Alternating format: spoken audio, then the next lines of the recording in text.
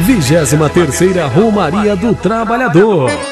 Trabalhador mais saúde igual vida plena. Esperança de novos céus e nova terra. Eu sou teu povo, sou em Romaria. Vou... Dia 1 de maio, com a concentração a partir da uma da tarde na paróquia Santa Isabel de Portugal. Participe, mobilize e organize a sua caravana. Aonde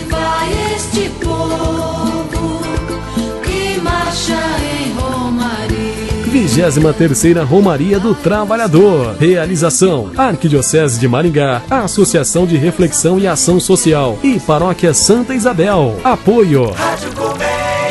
A rádio a serviço da Arquidiocese de Maringá.